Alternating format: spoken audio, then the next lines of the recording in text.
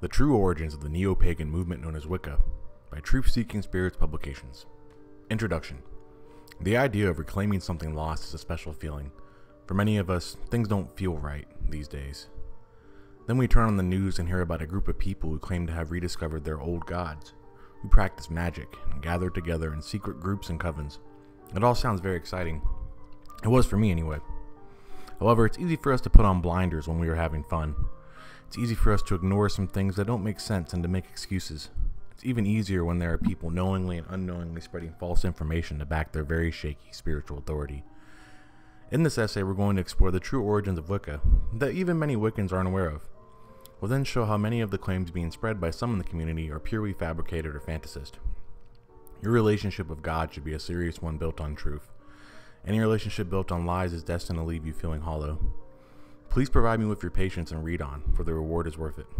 Origins Wicca is a predominantly Western movement whose followers practice witchcraft and nature worship, and who see it as a religion based on pre Christian traditions in, of Northern and Western Europe. It spread through England in the 1950s and subsequently attracted followers in Europe and the United States. Like in our earlier essay on Asatru and Norse paganism, we see that Wicca came to be known primarily during the rocky post war period in England, and grew during the hippie movement that followed shortly after. But who got it all started?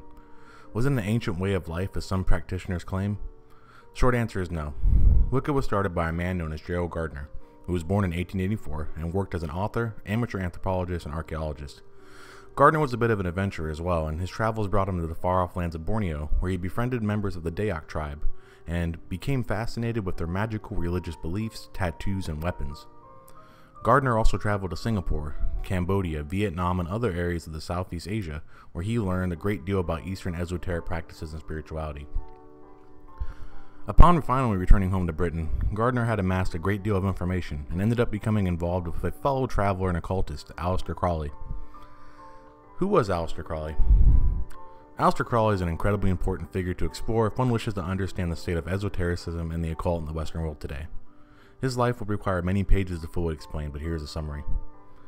Often referring to himself as the Beast 666, Baphomet, Hymenaeus Alpha, and other titles, Crowley was not afraid of controversy. Born the son of a traveling preacher, Crowley's family was part of the very strict Plymouth Brethren sect of Christianity, a schismatic group that grew out of the Anglican Church. Denied the better part of his childhood by his incredibly strict parents, Crowley began to rebel and look to the beings in the Book of Revelations for inspiration. It is said that Crowley's own mother began to refer to him as the Beast, of which he reveled in. Later in his life, Crowley became the prophet of Thelema, a new esoteric religion that spread the idea of a new aeon, a period of time, when the Egyptian war god Horus would take ascendancy and bring forth a new age. Crowley claimed to have received the holy book for Thelema, the Book of the Law, from a disembodied consciousness in Egypt while visiting there with his young wife. Crowley later went on to believe that this being, known as Aiwass, was his holy guardian angel, a term with very different connotations in the esoteric community. From there, Crowley went on to become a member and later leader of a Germanic Austrian society modeled after Freemasonry, known as the OTO, the Ordo Templi Orientis. The OTO is a secretive, secretive initiation based society with many levels of degrees and initiations within it. Perhaps what interested Crowley most of all, though, was her interest in sex magic, something of which Crowley was already apparently well versed in, as they accused him of stealing their secrets on the matter. As a friend of Crowley, Gerald Gardner ended up joining the OTO, where he was initiated to the third degree and given a charter that allowed him to open his own OTO lodge and to initiate members. The original charter still exists and is believed to be held by the OTO in the state of Georgia today.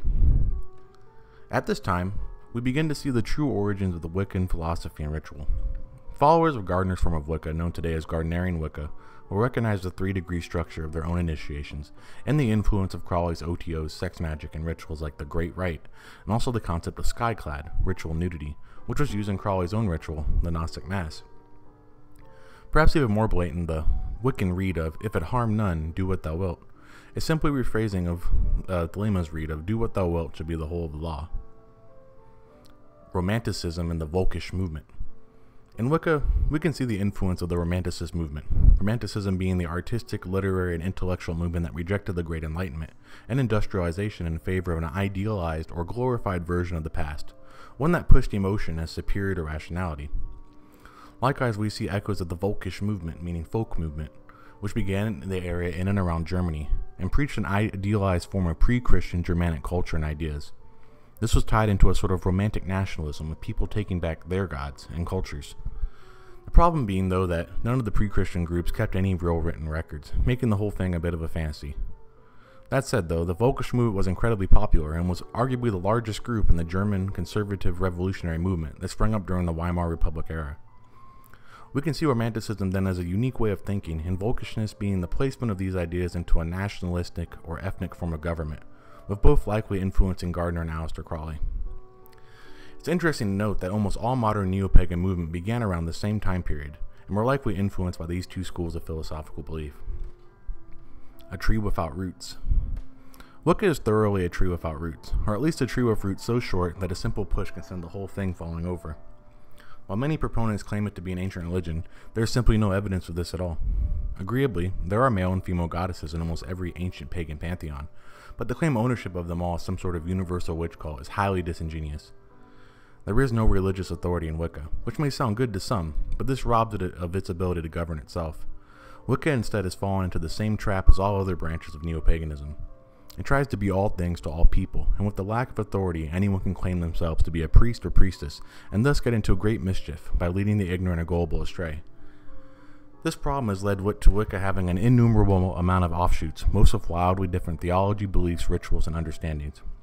Chaotic, unformed, and spiritually flaccid. It's here that we see the influence of Martin Luther, the former Catholic priest who we all remember for nailing his demands to the door of the All Saints Church in Wittenberg. Luther believed that all individuals should have access to the Bible and be free to make their own judgments, that by faith and grace alone would they be saved. While this may sound sweet to many of our modern ears, it led to an innumerable amount of cults, each preaching their own new version of the truth. This also led to the de intellectualization of the church, of a growing disconnect between the church's 2,000 plus year history, colleges, saints, and its libraries of religious lore. We can see this echoed today in the pagan community as a whole as anyone is capable of creating their own version of Wicca and setting standards they themselves feel adequate for priesthood or priestesshood. Appropriation of foreign religions. The majority of rituals we see in Wicca follow the line of New Age thinking combined with a mix of Eastern and Western esotericism. Meditation, tarot readings, crystal charms, talismans, wands, dream catchers, chakras, yoga, OTO and Mason inspired initiations, sex magic, and the worship of any and all gods or goddesses, which by the vapid nature of Wicca's belief are all true and equally valid. Voodoo, spirit possession, hexes, and curses. One would be hard pressed to find anything in Wicca that is genuinely its own. In a way, we see Wicca following suit with most modern schismatic forms of Christianity, a form of worship where one thinks of their religion as a business and bends it to conform with their own biases and vices. If God must be so pliable as to bend to every individual whim, then is it God being worshipped? Or is it just the worship of oneself instead? What can be done? Your spirituality and relationship with the divine is something that should be taken seriously. Given the above, the truth seeker is left with two options. Option 1 is to accept that they are following a modernist religion that fills in its lack of history with the work of other religions, one that grew out of the teachings of Aleister Crowley, one with no true spiritual authority, where the adherents will be required to accept all viewpoints to exist within the community. Option 2 is to walk down the harder road of self introspection and to seek the truth.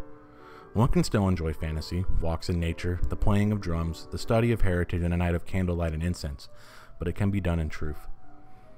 Discover what was hidden from you. For those that sought out Wicca because they felt dissatisfaction with the state of the various Christian churches in their country, I empathize.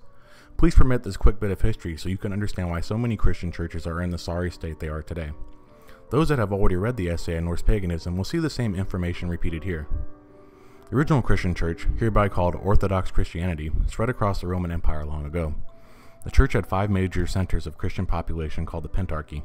Those five cities, Rome, Constantinople, Jerusalem, Antioch, and Alexandria, were run by bishops that were also called patriarchs. All bishops shared equal rank, but these five were shown extra respect due to the power of the cities they served in. The Pope, being the Bishop of Rome where the Emperor lived, was called a first among equals, as another show of respect.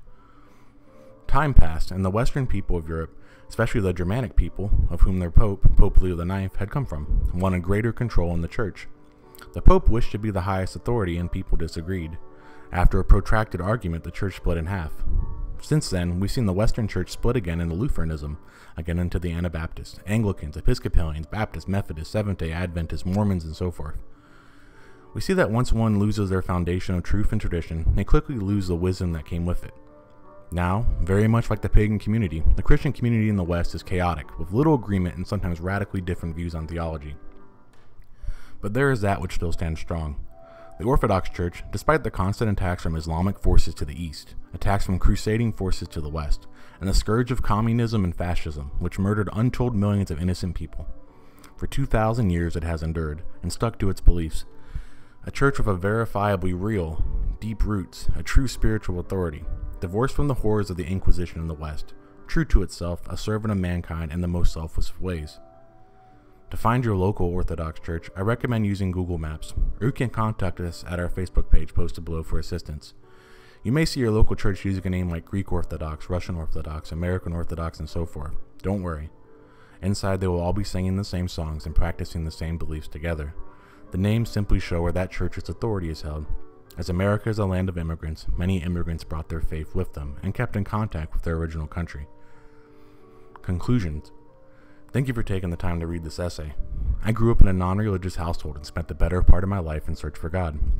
I was involved in Wicca for a number of years and even became an initiated priest. All this while being ignorant of the true origins of the religion and its lack of actual substance.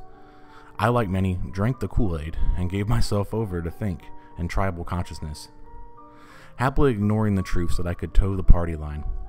I hope reading this will save you from making the same time wasting mistakes that I did. Thank you for listening and come back for more videos as we explore further topics. In the works will be an essay about Mormonism and eventually Islam, so I'm sure you'll enjoy them. Thanks again.